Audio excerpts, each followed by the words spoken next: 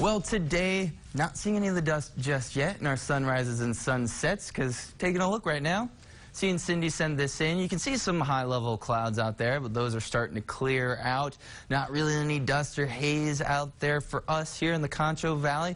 A few places along the coast are definitely seeing that, but we're going to wait for the weekend to watch some of that rolling in for us and have temperatures pretty much average for us for today, tomorrow, and a little bit warmer into Sunday. 95 for our highs today.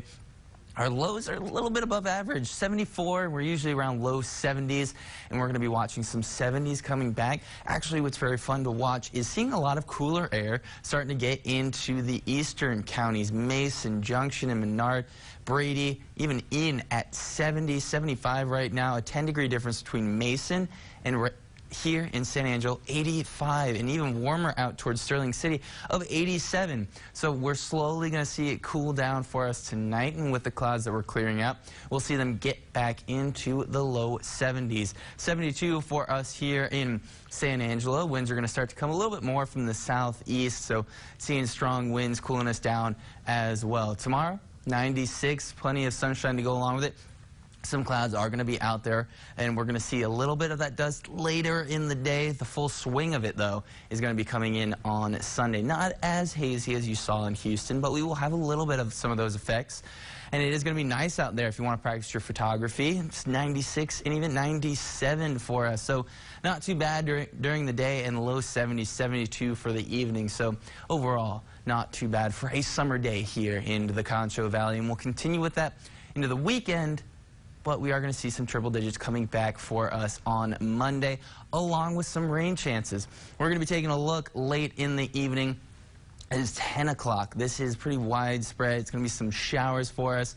Since it is happening a little later in our evening, we're not going to see as strong as storms as we are for Tuesday. Tuesday is going to be a little bit more active, and we're going to be seeing that's because of the dry line. So seeing that dry out and then getting a dry start to the Tuesday by 8 we're already starting to see another little bit of spot of showers and storms that are going to be coming through and moving south and then clearing out for Wednesday as well.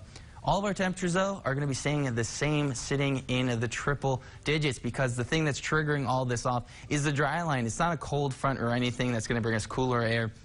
It's just going to be coming into to the Concho Valley. This is at 6 o'clock on Monday. We're seeing that drier air get to us. It'll trigger off some of those showers. Then that decides to move back out during the evening and the early morning of Tuesday. And then it comes back again for us in the afternoon. Still not there just yet by 3, but then it slowly gets to us in the evening. And that's what's going to trigger some of those storms for Tuesday as well. And then we just sit in those triple digits for the next several days and start to see plenty of sunshine with that as well. So the weekend, not too bad, 96, 97. Get outside, check out that little bit of haze and dust from the Sahara coming in on Sunday. And then Monday and Tuesday are going to be the only days we see some of those showers that are popping up to change up Yes, the triple digit highs we're seeing. We're seeing 100 on Monday, 102 on Tuesday, and even continuing that into Wednesday. So it'll be nice to have some showers to cool us off from these triple digit hot conditions we'll see next week. Thank you, Jay. Come